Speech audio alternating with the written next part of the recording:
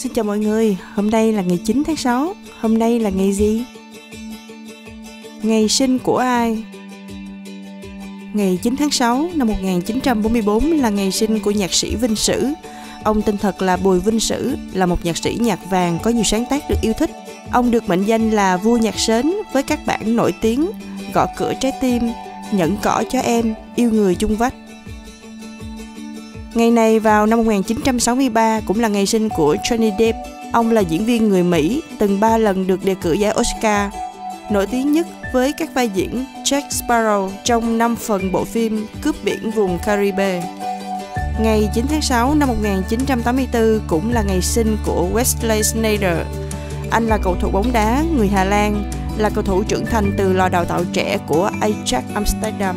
Sneijder đã từng thi đấu cho Ajax và Real Madrid trước khi chuyển đến Inter Milan vào năm 2009.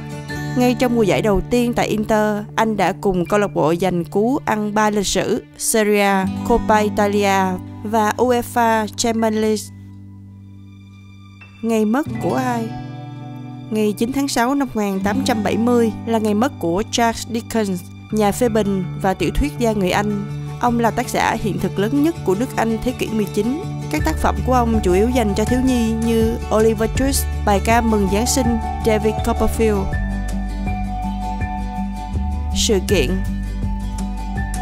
Ngày 9 tháng 6 năm 1534, Jack Carrier là người châu Âu đầu tiên mô tả và lập bản đồ sông Saint Lawrence.